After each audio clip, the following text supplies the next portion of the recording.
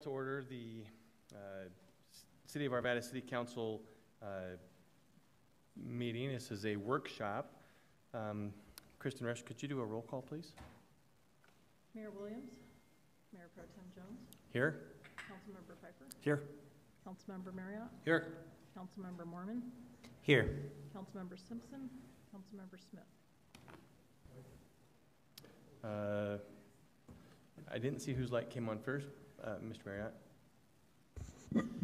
Thank you, Your Honor. Move that we excuse uh, Mayor Williams, Councilmember Simpson, and Councilmember Smith. All right.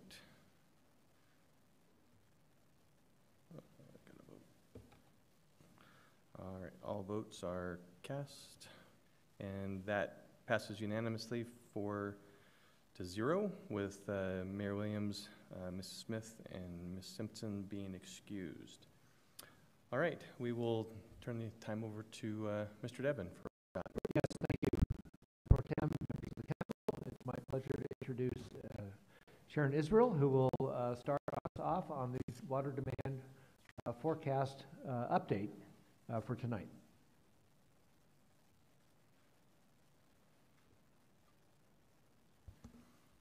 Hello.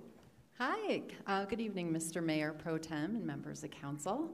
Um, it's always a pleasure to get a chance to come and talk to you all about what's happening with the city's utilities. Um, tonight's uh, very focused and planned brief presentation on water demand. Um, I, I, wanted to give it a little bit of background here. Um, we are scheduled to uh, be here this evening and then again in two weeks and then again at the end of April. And there is a there's a sort of method to that. So what you're hearing tonight is um, the results of a, a, study that integrates engineering, operations, community and economic development. Um, this is forming the foundation for additional um, policy discussions we'd like to have with you uh, two weeks from tonight. Um, and then again, on discuss financial matters and level of service end of next month. Um, so I just wanted to sort of frame tonight's presentation for you. Um, with me this evening is um, Ryan Stachelski. He's going to be one of my co-presenters, and then also Mary Stahl.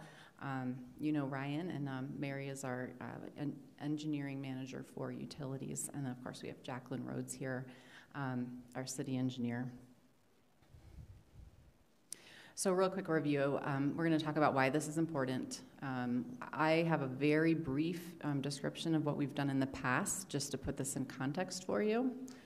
Um, Ryan's going to talk about how it fits in with um, the demographics and um, plan development, how we envision the future. Mary's going to give you some technical details, and I'm going to wrap up next steps. Um, so, just to start with the why, um, we are working on our strategic result that's specifically around master planning for um, water, sewer, and stormwater. And um, we've presented the results to you in previous sessions. Um, there's still a milestone out there, and that is by the end of 2023, end of next year, um, we will incorporate the findings from the master plans into our 10 year CIP and what we're calling our performance budget.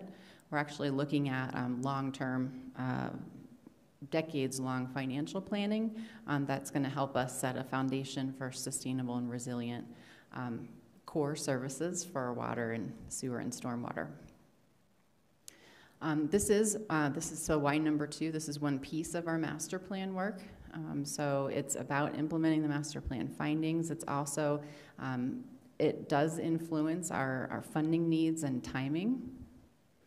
Oh, let me back up one. I also want to point out that tonight we're talking about water demand. Um, we are uh, going to explore the supply update later this year. So if you think about the way we plan for how we use water in the city, there's the demand side, which is forecasting based on plan development, um, how much water we're going to need to use, and what infrastructure capacity needs to be in place to use it. And then um, there's a supply side where we're going to dig into assumptions on our entire water rights portfolio. But that'll be another night later this year. Why number three is incredibly important because we don't ever want to overbuild our infrastructure, just like we never really want to underbuild our infrastructure. Um, and so finding that sweet spot where we're, we're matching the timing of plan development with the development of capacity and infrastructure, this is important. And that's why having Ryan and his team, um, the operations team, the engineering team all together on this is so important because it'll help us get our phasing right, and then accordingly, it'll help us get our operational, um, sorry, and CIP budget requests right. Um, so we, we avoid overbuilding or building things that maybe we don't need down the road. Um, and why number four? You're going to see tonight um, from Mary's presentation um, on some of the specifics on how we developed how much water demand we forecast. Um, there are several different alternative futures we're contemplating, and they consider the impacts from water conservation, what kind of housing and density we're going to build, what pace of growth. And so, to some extent, from a policy level, the council can give us direction on how to turn any of those dials. Um, so, you're going to see a range of potential futures here. Um, but this, as, as you're watching it, think about think about what is of interest to council to, um, to direct us on that may impact where we land in the future as far as demand. So um, this is the one slide on history of water demand I'm going to show you. Um, back in 2016, we, um, we, did a similar effort. We um, used what was then um, considered a sort of, I would say, state of the art or the typical Front Range um, Colorado City means of planning for possible futures, and you'll see there are two lines there. We estimated our demand at the time to be 25 to 27,000 acre feet um, out at, in those out years and build out. Um, what we've done with this study, and you're going to see the results of, is a, we have been a lot more sophisticated this time around. Um, sophisticated in considering a lot of other potential futures, um, not just drawing uh, two lines based on mostly linear um, assumptions. So I'm gonna um, I'm gonna wrap up here and give it to Ryan. He's gonna give you some context on how we're building the actual um, plan development and growth for the city into our forecasting. Uh, good evening. Uh, thanks for having me. And what I want to talk about is so we're talking about demand. How do we know? Where, where are these numbers coming from and how much? And so I just have two quick slides here, and I want to talk a little bit about what we used in the model in order to kind of figure out what the future demands are going to be outside of the other um, constraints that Sharon just mentioned. So we have a current population based on the census uh, that came out in 2020 of uh, 124,000. That breaks down to about 100, or excuse me, 51,000 households that we have we have an average household size of 2.5. That average household size has been very steady for the city of Arvada for the past 30 years or so. Um, so we've been really kind of rock solid at that 2.5. That doesn't mean it can't change in the future, but the range in even other municipalities around us um, doesn't get us much higher than about 2.7 or so. So we're lower, and um, part of that is is because we're an aging population, as you've heard um, us talk about many times. One, I just find this fascinating that 62% of our households have one or two people in it. That's just an amazing statistic um, one that we've used before, um, but just really kind of shows about how um, uh, people are holding on to their houses longer and about how people are moving out. And so that's definitely a conversation that we would have in the affordable housing realm and other pieces, but for tonight, we're, we'll leave it at that. Um, we also have uh, about 21% of our households are attached um, so multifamily in some way. Um, that is on the lower end of the spectrum of the Denver metro area. Um, if you get into Boulder, where it's a um, university town, and they've also had policies for years that kind of require them to build multifamily. It gets into the 40%. Um, but in, in Lakewood and, and those areas, you get into the high 20s and 30s. Just as an FYI. Um, other interesting facts, historically, uh, over the past 60 years, we've been adding about 700 units uh, per year. But in the past 10 years, we've been lower than that. We've been adding about 500, and you can see the exact number there, um, but we've uh, a little over 500 units. So the past 10 years, although we've seen fairly steady growth, it's certainly not um, the fastest growth that we've seen. Um, we've seen double the amount of growth in the 70s and 80s than we actually saw in the, the 10s or the teens, uh, the 2000 teens. Um, another uh, interesting fact is just how much commercial square footage do we have? We have uh, approximately 13 million, and you can see how it's broken down into three different categories um, retail, office, and industrial. Um, so that's where we started with, or that's where we are today. Where are we going? Well, our comprehensive plan, which is our, our base level planning, which is assuming uh, the build out condition in terms of population, water supply, um, water demand, we believe that our population is going to reach kind of capacity at about uh, 153,000. So if you do the delta of that um, from where we are now and uh, where we will be, it's roughly 30,000 more people.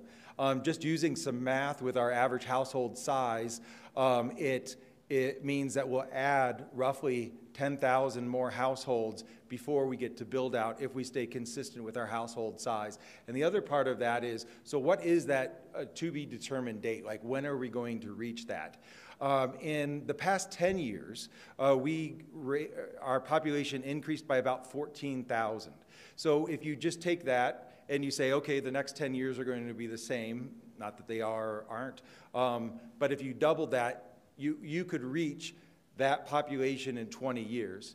Um, I will tell you that development in general is going to be more complicated as we move forward, and so the pace of development is also going to be uh, judged by a number of other factors, including cost, um, that, that may alter what that pace is. But it just gives you a little bit of generality that we're probably 20 to 30 years away from what a build out population looks like. Um, and then lastly, uh, there's commercial that comes along with that population and, and how much more commercial.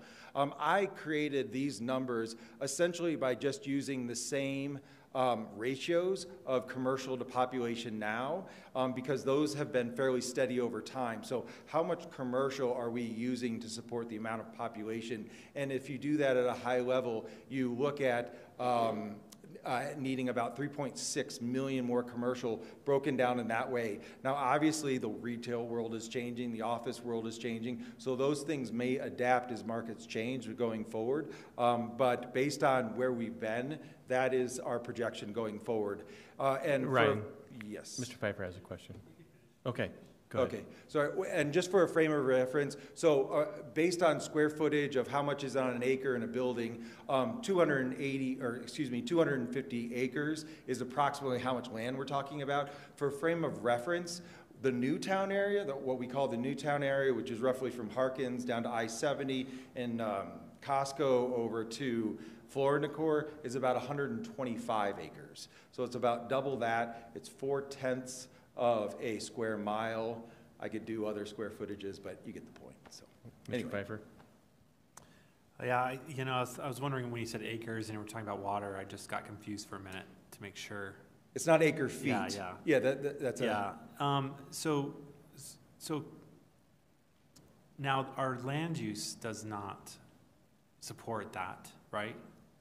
No, our comprehensive plan? Well, because you're showing, you know, two hundred and forty-eight acres, and I'm thinking of the Candelas area where we just got rid of a whole bunch of commercial space. We have over 200 acres of commercial vacant That- land in Candelas today. Today, so Yes. that, that does cover it. Not mixed use, we're talking about the No, no, no, I'm commercial. talking about straight up Commercial. commercial. Yeah. Where's that at? Well, we didn't do any rezoning, everything um, west of. um, Indiana, it- Well, of, um, The school, thank you. That, that's a good ge- geography point um, of the school. So everything from 93 to Oh. roughly Candelas Parkway, that's all Where the there. water, the new water tank is and all that back area? Okay. Yeah, um, there's land around the Fortune property. Oh, uh, south, south of, uh, South, uh, 72. all south of King Soopers, all that can Okay. be commercial. So, and, and that, and this is citywide, so it's not just um, in Candelas, but we, we have that acreage. So you do, we do have the acreage, that's more Yes, we- general. It, it, it, I didn't think about all the other space. So that is, now let me ask you, with that, with, with that, where was I going? So with that change, um, or maybe you're in another slide, so I might get ahead, so if I do, just tell me to wait. The use of water is different, as we discussed, between commercial, industrial, and even residential. Is that later in the slide? O- Okay, then I'm gonna stop, I'll wait till then, All right, Mr. Moorman, thanks. Yes. I, I, I've had the same question, so I'm okay, thank you. Carry on. Well, I am done, and I'm going to hand it off to Mary, Perfect. but I'll be Great around. segue. Yep. All right. Um, I will start with by saying I'm going to try very hard not to completely geek out. Um, I feel so privileged to have worked with our Brown and Caldwell team. Um, we got their top modeler in the nation, and it was so much fun to work with someone who um, loves multi-sheet, um, like I don't know, ZZ column type spreadsheets that really delves into all kinds of detail. Um, but we are going to keep this high level. But I do want to give a lot of credit to Brown and Caldwell giving us their top modeler and, and letting us really drill down. Um, I'm going to cover our process in doing this, um, what the drivers are specific to Arvada, and they're very similar to other communities, but they, they can vary depending on part of the country and specific to a community. Um, touch on historical trends for the last 20 years. Um, then what did we model? What are the answers? Because that's what everyone wants to really know. But it is good to know the background before we get to the answer. So our process was to develop four scenarios. And the idea was to develop scenarios that are plausible. Um, does not mean that they will happen, but they are plausible. And I love this figure down um, in the bottom corner of the presentation because it shows how our future can diverge. And, um, and that's where Sharon mentioned um, state of the industry for this has moved from a single or two line uh, projection to a range of projections. And what we're trying to do is to get plausible scenarios that bracket what our demand could be. Um, and it does provide us the ability to right size and smartly phase our infrastructure. So, in other words, we look at the next 10 years, 20 years, because it takes 10 years to build lots of this in- infrastructure, and then we take another look in 10 years and 10 years later, but always making sure that we could hit either one of those without overbuilding. Um, and additionally, these scenarios allow us to have insight on the demand drivers. So, what are our demand drivers? Obviously, population growth. Um, people use water in their homes, and that definitely drives our, our water use. Density and the type of housing drive our use. Um, household size uh, does impact use.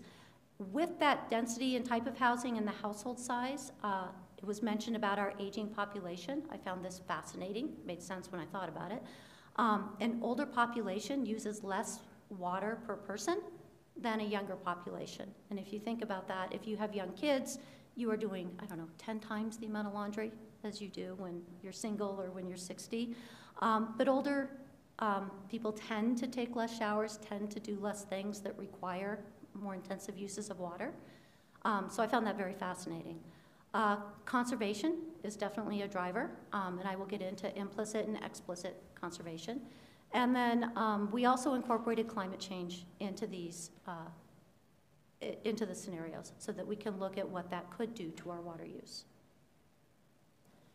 This is a data-driven process. Um, so, so many things went into this. Um, the comprehensive plan, obviously. Uh, the Dr. Cog TAZ, that's a lot of letters. Uh, Denver Regional Council of Governments. TAZ is the traffic analysis zone, and they're very small pieces of land. I think they might even be smaller than like um, your uh, voting precinct, um, where uh, DRCOG has taken a look at employment and housing um, in each one of those. So uh, the modeler pulled that information in. The state demographer uh, was used for data source. Recent water use. We got really detailed um, over a couple of years of data use, and then we looked at bigger trends over 20 years. Conservation impacts. This was um, a fabulous thing having their top modeler. She knew so much about how conservation can impact water use, both with implicit and explicit, and how to model that. Uh, implicit means things, conservation that's going to happen without us doing anything. That started with the 1992 Energy Act that uh, set limits on how much water fixtures could use. The Colorado legislature took that another step in 2016 when they said we could only buy WaterSense fixtures in Colorado. So we know that Arvada as a community has not um, fully incorporated that with remodels on older homes and that kind of thing. So the model incorporates that implicit conservation into the future, into a plausible time frame of uh, all fixtures being replaced. Explicit conservation for Arvada is really around outdoor use. How much are we going to use? What kind of um, landscaping are we going to have? And are we going to have any regulations around watering of that landscaping? Um, and then lastly, the last piece of data that we used was to make sure that um, for the on-trend scenarios, which I will get to, that we stayed consistent with the land use projections done for the sanitary sewer master plan. In other words, we're making sure that the water and the sanitary side match each other. So historical trends. Um, this graph, um, it only has two pieces, but lots of information. So the blue bars are um, population from 2000 to 2020. And the interesting part is that population change has been about 21 percent. The black line is the average day production um, for that year. Um, and you can see it really hasn't changed. It jumps around, and it jumps around because of weather or because we've implemented um, drought restrictions. But if you were to try and do a line of best fit, it'd pretty much be a straight line. Um, that is a front range trend. We are not alone. Almost every water provider has seen this trend, and a lot of that has to do with implicit water conservation it also has to do with what we've called the drought shadow, which was after the 2002-2003 drought. Um, people saw that their lawns did okay with less water, and water use never really rebounded to where it had been before.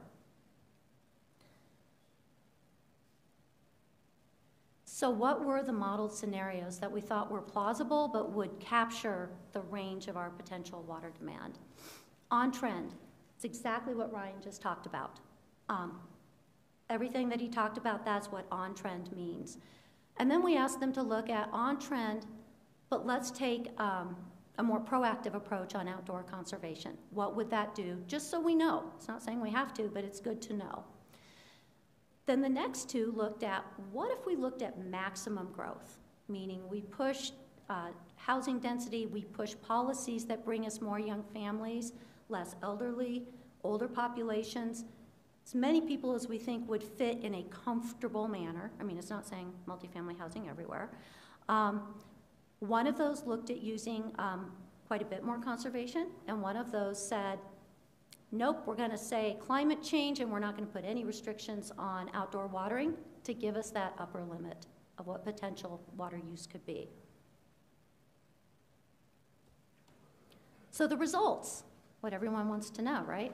Um, so the black line on the left is jagged all over a place. Once again, that is our demand. This time it is in average production, meaning acre feet per year. So that's how much water the city um, provided to customers in a single year. The lines on the right side are the four trends. And so we can see that from um, the lowest to the highest, we range from about 19,000 acre feet to about 23, 24,000 acre feet. That is in an average year, and I'll get to the hot years and the cool years in a minute. Um, so in comparison to the one that Sharon showed, um, that is a little bit lower. Um, so the work done in 2016 used a per capita demand of 145 gallons per person per day, which was about what we were using in 2015, 2016. In 2020, we used about 135 gallons per person per day. So that was kind of our max starting line on that per capita for any of those. And I think that really um, explains the difference between this work and the work five or six years ago, for the most part. Plus, I, we've obviously sharpened our pencils a whole lot more on this. Um, because, as I said, that, that model has um, so many, so many sheets, so many columns, so much fun to dig into. The interesting part is that on these range of projections, it ranges from about 120 gallons per person per day up to about 135. Um, and that really, that difference is primarily due to age of population and how much outdoor water use there is. Um, the part that is also really interesting is hot weather and cooler weather. This is average year weather. Different from climate change, just, this is just the year-to-year variations. Um, hot weather increases our use from average by about 11%. Cool, rainy weather decreases our use by about 13% from average weather. So it's really quite a range. So this is fabulous for the water supply study that Sharon mentioned. Does not help us with infrastructure. We kind of need to know max day. So they, uh, Brown and Caldwell also gave us some information about maximum day. So the graph shows, um, again, average weather. Um, they are water resources people. Water resources people love average day, um, average year. Um, but the, uh, in the text above, it, it um, indicates that these range of scenarios, we could be from 44 to 54 million gallons per day when we are looking at a hot, dry year. So that is what, those are the ranges we're going to be looking at as we look to replace infrastructure or if we need additional capacity on infrastructure. As I said, we can geek out unbelievably if you'd like. Um, there's unbelievable amounts of detailed information in the report. Use by sector, is it single family, multifamily, commercial, irrigation, where is it in the city, um, weather, um, and as I said, per capita demand. Um, the graph on the right is just to kind of give you an idea of the range for weather. Um, the line is that average day that we talked about, and then the, the band shows cool weather versus hot weather. Are there any questions before I take it back to Sharon? Actually, I, I have a question. Sure. One of the, you know, the, to me, one of the, the looks at this has been that the effect that conservation of, has had over time, that we're using the same amount of water we were twenty-five years ago, even though we're twenty-five percent bigger. Um, so it's a, it's a, it's a pretty big number of, of kind of change of, of usage in household. Do you have any idea how much of that conservation, that part that's made the difference here, is due to just general trends or people's living trends versus mandated conservation measures? So in Arvada, it is primarily due to that implicit, uh, for indoor. uh, And then outdoor, I think it's more just reaction, if you were here, for the drought um, in 2002, um, as well as some of the messaging Denver Water did for a number of years, and I think just a raised awareness. To my knowledge, our- and I've been here 20 years, I've lived in Arvada 20 years, the only time we've had mandatory conservation was in response to drought in 2003 and 2013. So, Right, so this, this conservation's happened just as a, a reflection of soci- societal change or just kind Right. of people's attitudes or, or It- vo- it's- vo- voluntary, voluntary kind of differences in a, in a yeah, viewpoint and, or and I something. think sometimes learning, I watched, um, when I moved in, my, they still do, kind of, um, the, we called them the old men on the block, please don't take any offense, but they were all retired, and their wives didn't care about the lawns, but they competed to see who could be the closest to a golf course. And in 2003, they learned that they could use less water and still win that competition. So, Okay, thank you. Uh, Mr. Moorman? Yes, thank you. Um, So when they did the modeling and they were showing the different um, scenarios and the one with the conservation in it, what, in their model, what are they thinking is, are the conservation, actual conservation measures that are being implemented under that scenario? So they gave us a range, but I think the one that they were really looking at was a mandatory watering schedule, which has been implemented in a number of communities, both in Colorado and across the country, and has been shown to be very effective in reducing use. It, there's no limit on use. It just becomes a Monday, Wednesday, Friday, Tuesday, Thursday, Saturday um, restriction. Um, I was gonna say Sharon's got the whole list for me.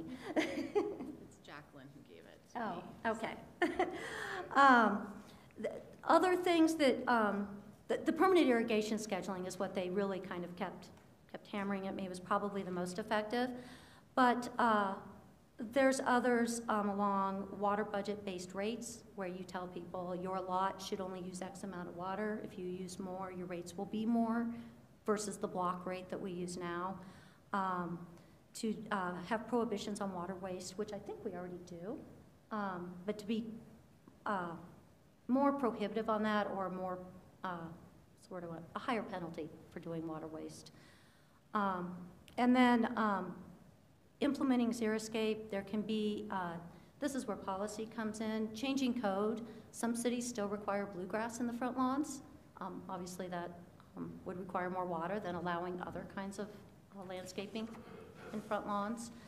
Um, So uh, I think those are the really big ones. Thank you. Uh, Mr. Fifer?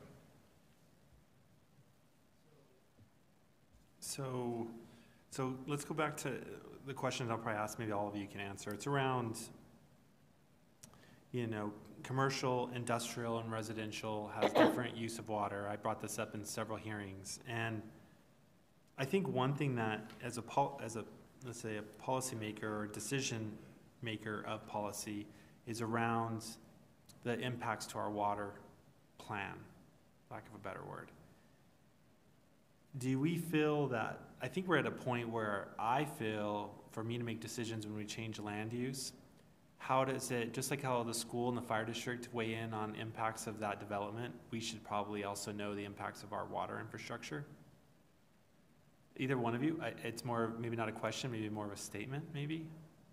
But I, I would like to see that because when we have big change like i had with with um, Candelas's commercial switch, it, it made sense, but there was a big impact to our water because it, it went from commercial to residential, somewhere between 650 homes to 900, whatever day it is or whatever it ends up being. That's a lot compared to commercial buildings, right, Ryan? I mean, we had that conversation at that hearing. I think we need to know those changes up front when we have these type of hearings, that we know for a fact that the increase will be X amount of acre feet. We, you know, you do say, well, we have it, but then we have discussions like, well, the infrastructure wasn't there, or, or we needed to do a, water. I didn't know about the water tank until this year. I didn't know we were doing that for pressure and impacts. But the developer caused that, but yet, you know, they, I think they contributed a little bit. JCMD contributed a little bit to it, but Mm-hmm. those impacts should be eyes wide open when we make changes, especially when we add 650 homes to an area that wasn't anticipated to have 650 additional homes. So I'm wondering if, if when we do these larger land use discussions or zone changes, that we really get a 360 degree view of those impacts. How does it impact stormwater? How does it impact our sewers? How does it impact our, our water usage? Like numbers, not like, no, we got it. Uh, no, I want to know, is it how many acre feet? So is, is that something that, are we planning to, to do moving forward or? So a couple things, and Sharon can um, certainly weigh in. Um, So when we did the analysis, uh, and Mr. Sullivan did the analysis for when we converted the Trailstone area uh, from commercial, it was a- actually mixed use to commercial. We did do a water supply analysis and um, determined that the difference between what was being proposed today, what is being built today, and commercial um, that was being proposed there previously, the difference in acre feet was three. So we did exactly what you're talking about, and we were able to show that the difference in acre feet that was needed in those two uh, scenarios was negligible or equal.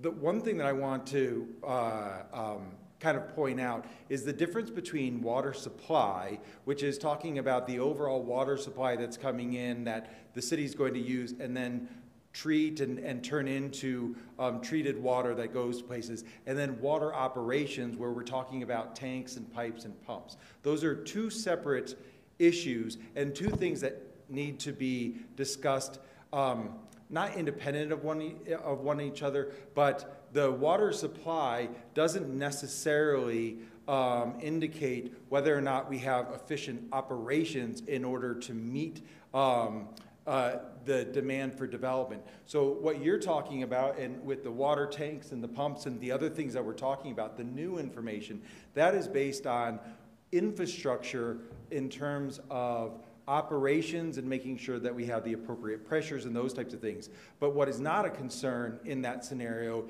is having the amount of water needed. It's about having the amount of operational infrastructure that's in place in order to serve at the rate of uh, households or commercial buildings or whatever is there. It's a, it's a little nuanced, but it's a little different than the, those two scenarios.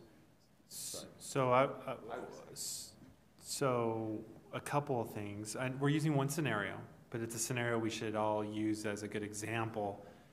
But in that argument there, I asked the question, what was the consumable water that is being used, house versus commercial? And I got a clear number that is not just negligible. It was a huge difference. It was like a forty percent difference. It was a huge number. So a house per foot uses X, commercial uses what per foot? So if I do three million, you know, square feet of commercial, uses how much water versus three million of residential, it uses how much water? I don't think it's three acre feet. I, it, it depends on the use. It- So there, there are so many variables into that. You, you, there's not a one for one. I can tell you that a household, we do, for a single family equivalent, we do two houses per acre foot, correct? For planning purposes. For planning purposes. For commercial, I don't know the.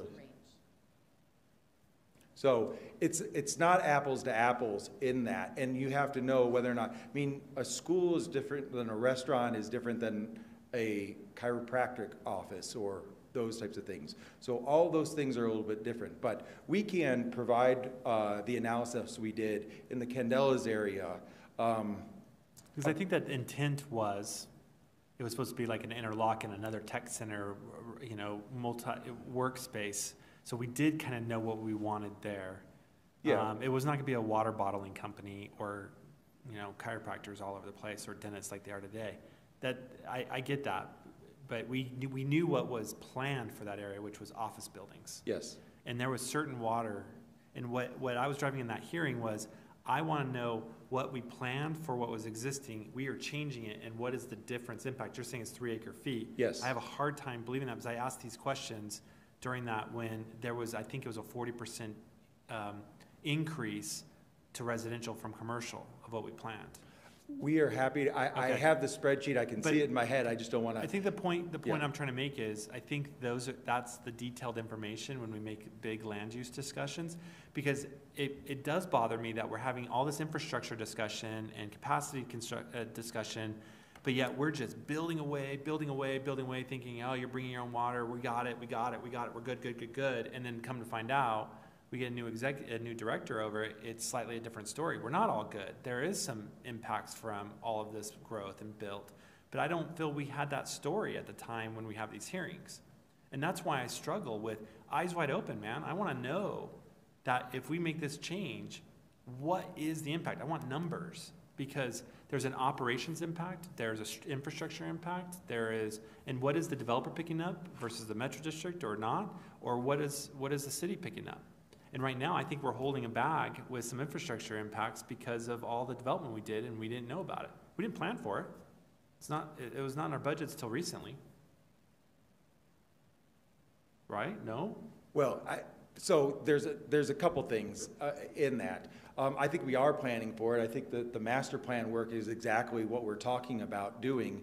Um, so uh, there are, there are a couple of um, different scenarios that you're painting. Um, and, but what I know is that this team is on top of looking at what our infrastructure needs are based on planned growth uh, in order to fulfill those core services.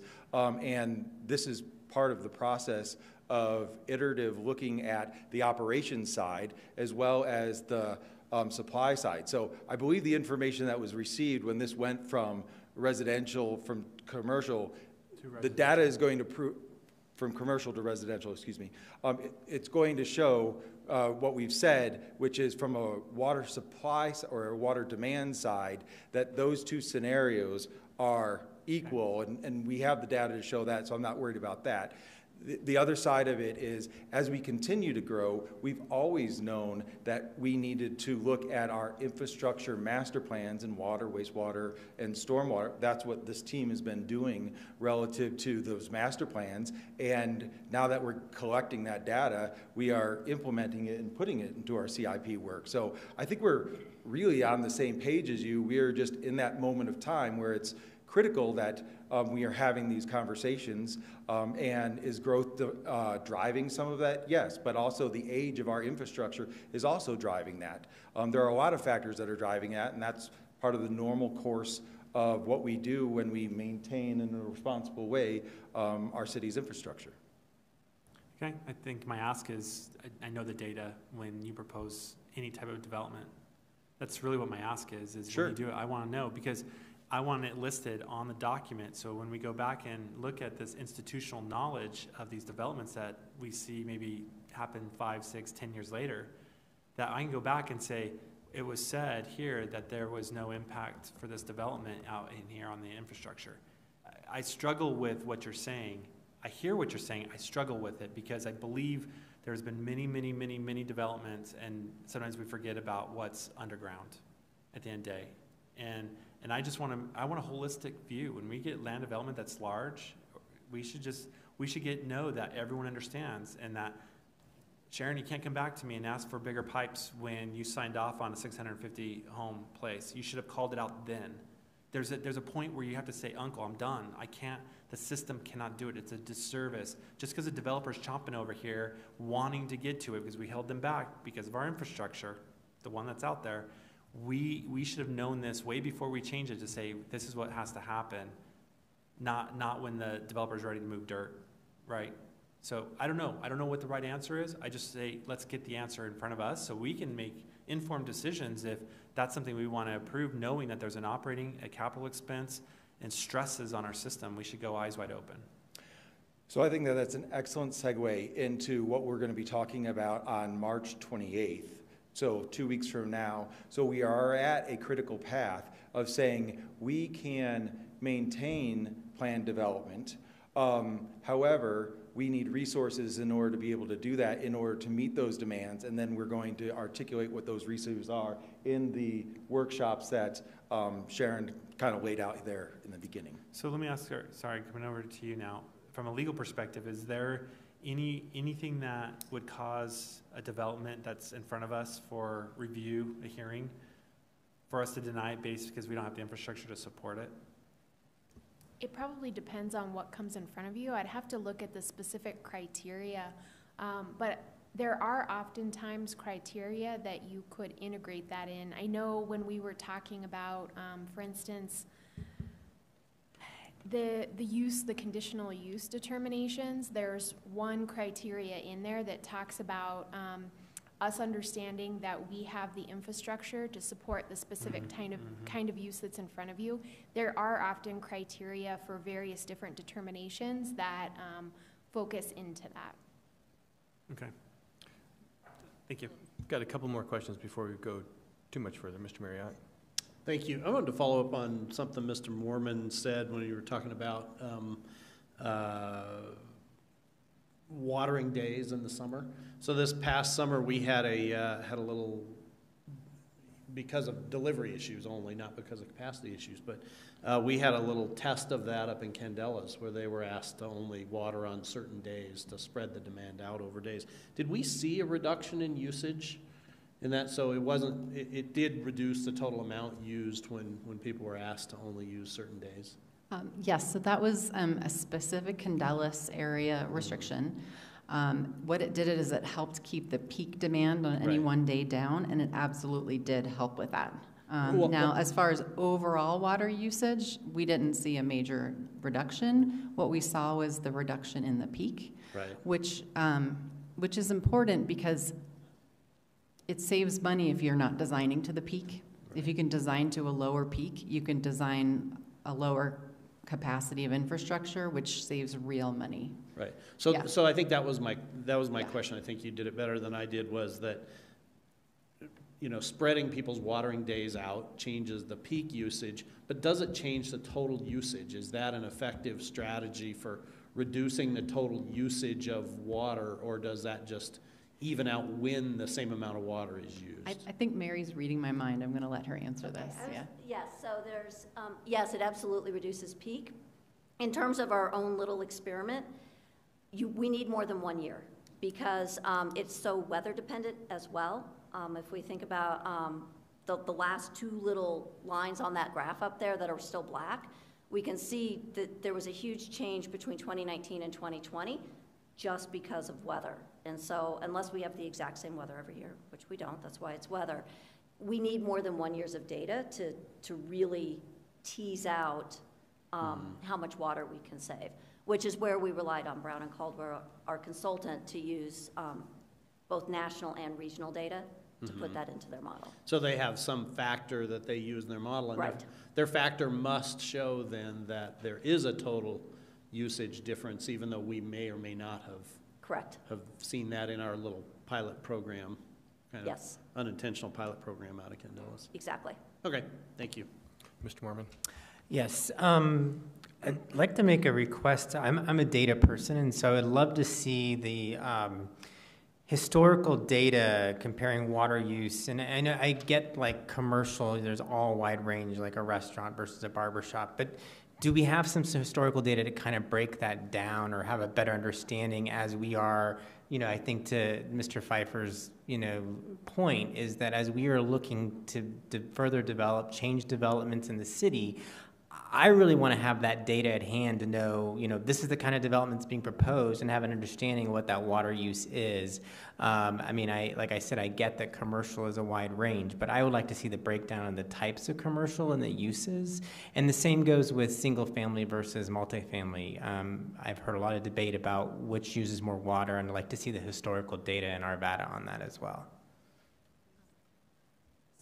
I can speak to single-family versus multifamily. We definitely have that data. On the commercial side, there's a lot of published data on the differences between the different types of uses. I don't know, I've only been here 13 months for an employee. I've lived here 20 years, but, um, so I'm going to let Sharon take that. We're, um, we're, we're looking to do more with that, uh, Councilmember Moorman, and there's a couple things that are gonna enable us to do that better. One is the smart meter technology that's being installed. So we'll be able to get, um, data readily, um, throughout the day.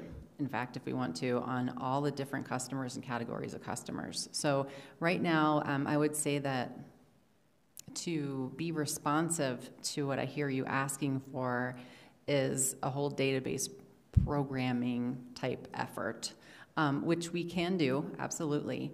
With the smart meters that are rolling out, though, it's, it's going to be literally at our fingertips. Um, in, the, in the interim, we, we do address a lot of this in much more detail in the written report, um, which Jacqueline can wave at you, maybe. Do you have the written? Oh, it's right here. I'll wave it at you. It's um, extensive. So happy to share that with you too and walk you through any of it. Um, I think that may be helpful to sort of fill the gap without, um, again, this is up to, you know, council direction if we wanted to do a big database project, but there's, it's, the data is not readily available to parse it quite the way you asked right now. I, I understand that. I appreciate that. Yeah, I mean, if you could send me the report, and again, my intent is that when we get new rezoning requests or proposals, that I, I just want to have the most information available to make those decisions, and especially around, you know, do we have the available water for this proposal? Um, and so if, if you can provide that, that'd be great. Thank you. Um, are great frameworks around that that I've seen used in other cities. I think that um, the Ryan mentioned this. The discussion that we're bringing forward in two weeks from tonight really digs into a lot of this in more granularity in the short term because we do have plan developments coming with very specific um, uh, specifications, and um, that's helping us make some. Well, that's helping us bring to you some policy decisions that we're going to have to make on on not just sort of far out projections, but actually very near term in the next few years uh, projections. Um, I also, I, I feel like um, we touched on it tonight, but I think this is important too that um, we're talking about water supply in the context of demand. So if you look at our, open up our water rights portfolio and see how much that is, we're revisiting that later this year also um, because we want to make sure that the assumptions that went into that, considering climate change, drought, variability, um, the contracts that we have with Denver Water, that um, we just are, are using the most modern type analysis to really understand supply. Um, the demand we decided to do first, again, emphasizing some of what we're trying to figure out is how to pace all these projects. You've seen me come up and along with this team over the last year um, with very significant shortfalls in our revenue to be able to actually build all the capacity that we need. So now it's that timing piece that's so important. Like we know we're going to need to build this much capacity at the treatment plant. What this demand forecasting does for us is enables us to be more um, strategic in exactly when, when that all gets phased. So I want to be clear that we're talking about water, like wet water, how much water people are going to use, but it's that whole uh, delivery operation that goes with it. Um, so again, two weeks from tonight, we have some, some more details that we'll go into and, and some specific requests for feedback from council on how we proceed. Thank you. Mr. Fifer, you still have a question? Uh, Yeah, do you, do you have a question? No, no, no. I just Okay. want, I saw your light on, I just want to make sure. Well, all right, just make sure we're taking a lot of bites at the apple and. I wanna know. Make sure you had a few. No.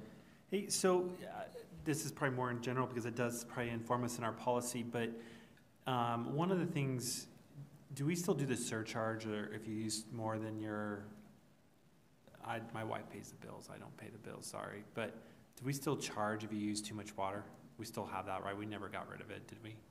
There's a surcharge in the code for when there's over watering for a drought, um, under drought restrictions. But we don't charge, uh, two dollars more per whatever thousand gallons or any, We have a tiered structure, so. yeah, so we do charge. yeah, Okay, so we, so- we have, yeah, no, the, the, the five thousandth gallon is gonna cost you more than the first gallon. So the tiered structure, that's been around since the drought, really. I mean, that's where that came from, and we just kept it this whole time, right? So has there been any thought of thinking about that a little bit more? Because as, I've struggled with, with that tiering process because I believe families that are larger are penalized. Mm-hmm. And yet, if I was one or two, which is sixty percent, it, you get no penalty, you're fine, but, you know, don't have a kid, otherwise you're screwed and you move to another, you know, tier because you're using more water than the five thousand or whatever the. Have we thought of looking at that a little bit more? Because I just, I mean, when you look at a house that's a five, six, seven bedroom and you're, you're, you're, and it's on a half acre, it, it doesn't seem it's fair to somebody that's on, you know, a thousand square foot or eight, eight hundred square foot, two bedroom ranch. But yet we're being held to the same watering standards as others. I'll- I've got a couple kind of thoughts along those lines. One is that we have, uh, currently have engaged a consultant on our, um, uh, on financial planning for the utility. And one of the things he's looking at is our rate structure, our fee structure, and also our tap fee structure. And um, so what you just described in terms of are we setting tiers the right way is very much a, there's a body of knowledge around it. And so we're, we're tapping that consultant to help advise us. Um, the other is um, it's certainly a policy decision, and, and some other cities, even here on the Front Range, have made it. Mary mentioned it in the. It's one of the tools in the toolbox for water conservation, which is a water budget, and so um, that is feasible. It's complex. It does require more city staff to administer. Um, however, it, it, it has been adopted by some other jurisdictions for the reasons that you described. Um, What- so. how do- Well, I guess we'll learn more about a budget. I mean, because I, I think what, when I talk about fairness or equitable, I mean, I know that we have to do something with conservation, but there should be at least a baseline, because you don't know how many people are in my house. You know, I have three boys, or if you have three girls, or mix of, you know, there might be more showers than one or the other. I don't know. I think boys take too many showers sometimes. It Depends how old they are. But you consume more and you want to conserve, but is there a way to baseline, like you do with energy, like uh, with electricity, you can baseline your average use, spread it over. If you jump up 20%, then you'll be charged a surcharge or something because you spiked. I, I'm not saying that's a solution, but a solution that might be more equitable uh, for folks, but yet we still need the hint of con- conservation in that conversation as well. And I'm sure you'll get the, the you know, Odyssey of the Minds together and, and figure it out, right? Does anyone know what an Odyssey of the Minds? oh, there's a few. That's a great reference, thank you. Um, Odyssey of the Minds team. Um, so what we're talking about are some of these dials that we can turn to address our revenue requirements and needs while also doing it in as fair a way as possible. And that is absolutely where um, we need direction on what policy we want for Arvada. Okay. Um, because I think those different options are, are absolutely there. Um, And maybe your When- smart meters will help with it, you know, in some way, because sometimes if you just, like you said, I think you've said this before in other presentations, you give that in, information to the homeowner, maybe they'll make better decisions. Yeah. It's just like, you know, navigation maps or apps that make decisions on when you should drive and not drive. Maybe you can make decisions when you should use water or not use water. absolutely, thank you. Uh, The other question, uh, and I don't know who has the answer around this one, was, you know, I recall us having this conversation, I hope I'm not too far off the conversation around, when developers came, they were supposed to bring their water, their rights. Where are we with that? Because I was always under the impression that developers would bring water rights for our supply side, right? Yes, so um, we, we do not at this time accept water rights for development unless they meet very specific criteria. We can still do that.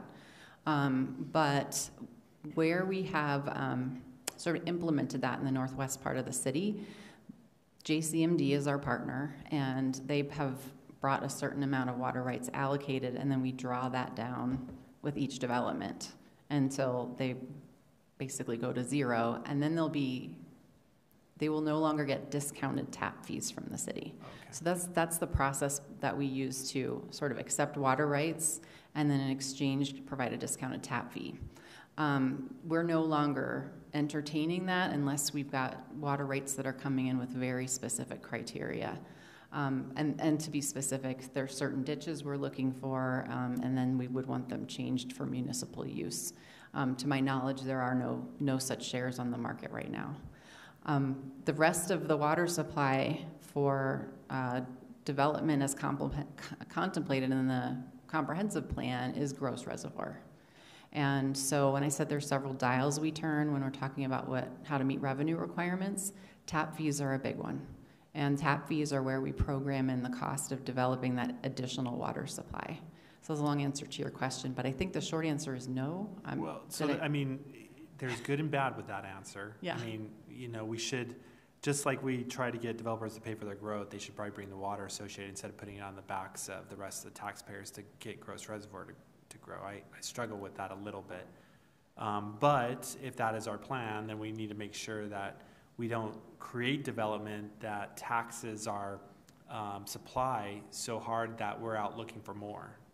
So we, need- there, there Thank needs to be a very harmonization between this. I keep stressing this. I think this is why I was saying it earlier.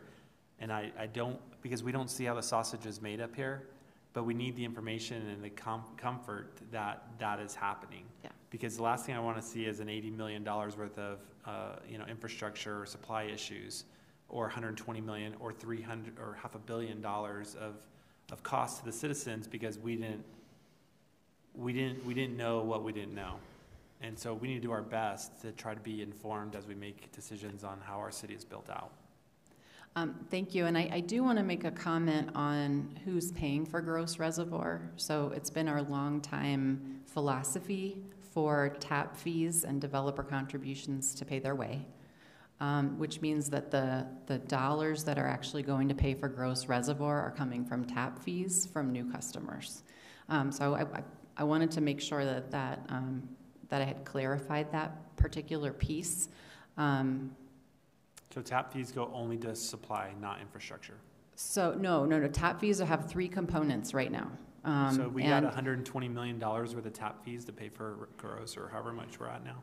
We have, um, we have been putting money aside from tap fees into the fund balance for 10 years? Brian, where's Brian Archer when you need him? At least 10 years. So, so tap fees have several components to them. One is a water supply component, one is a water treatment plant component, so that's that operations piece that we use to treat the water. And then they have a component that's also the distribution system. And, and that's been um, historically reevaluated on a periodic basis. When I told you earlier that we have a series of of workshops scheduled um, with council over the next few months, that will be a very important topic um, because our tap fees for sewer, for example, haven't been increased for 11 years. Um, our tap fees for water were increased a moderate amount five years ago. So um, I, I, we, we have a whole discussion planned with council on, on potential ways we can adjust those and, and raise revenue that we're going to be doing later this year. Um, But I think it's really important to, for, for us to, you know, help, help clarify that our philosophy is that growth will continue to pay for itself. We're not paying for gross reservoir with ratepayer funds. So, so in the last ten years, we've had, um, approximately fifty-two hundred households if you do two point five people per household. That's on So, so how did we get to, I'm just trying to figure out how we got hundred and twenty million dollars off just a one-third of a tap fee, if the tap fees haven't gone up. I, the math doesn't make sense to me at all. Well, I, I. Sorry, I shouldn't be I- I- doing No, this that's up I think we'd but- be remiss to try to do math up here. Oh, yeah. you know, Especially when we weren't really involved in those things. So your questions are valid Could, and. could and you just get we- us information on it later, Yes, maybe? and, Yeah. and, and Yes. uh, to Sharon's point, we are having this conversation on April twenty-fifth, where all of this will go into a lot more detail. So I don't want to deflect your question, I just don't want to give the answer when I'm probably the least qualified person. Well, to and do just be that. prepared, maybe, more than anything. Yeah. We Be can, prepared. uh, Thank you. Councilmember Fifer, we'll engage our finance director in Oh, yeah, providing he's you. not here. Well, we didn't Huh. know you were going to ask some of Oh, the sorry. questions you did.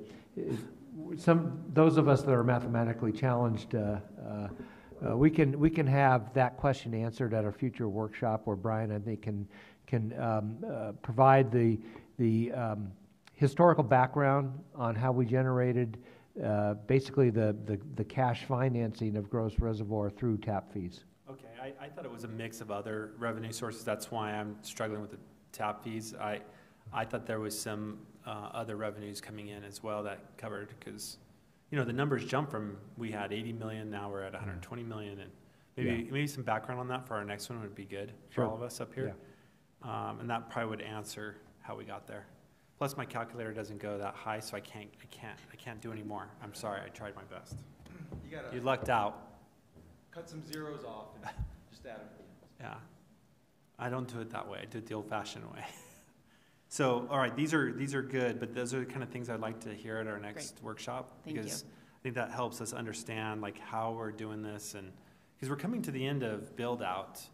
um, And it does influence density, and so we need to talk about density. I mean, there's, there's a lot. So the more intelligent we become, which Sharon, you've done a great job forcing us to learn your world, which is hard. I think we can, we can all dream to be water engineers one day or whatever you call,